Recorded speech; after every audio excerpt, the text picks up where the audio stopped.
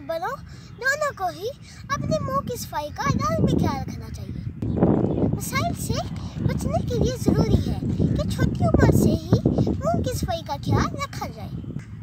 दांतों का चेकअप मामूल बनाएँ, क्योंकि इससे आप किसी भी बीमारी को शुरू से ही ख़त्म कर सकते हैं।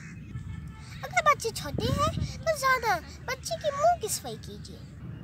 दांत निकल आए तो कम से कम दिन में दो बार ब्रश ज़रूर कीजिए। सुबह उठकर रात को सोते वक्त और खाने के बाद ब्रश मुफीद है। अगर ऐसा नहीं करेंगे तो खा के ज़रिए दांतों में ही रह जाएँगे। मीठी दवाई के बाद भी मुँह की सफ़ाई ज़रूरी है। अगर आप अपने दांत मज़बूत रखना चाहते हैं तो माए डॉक्टर से भी मशवरा शुरू करें।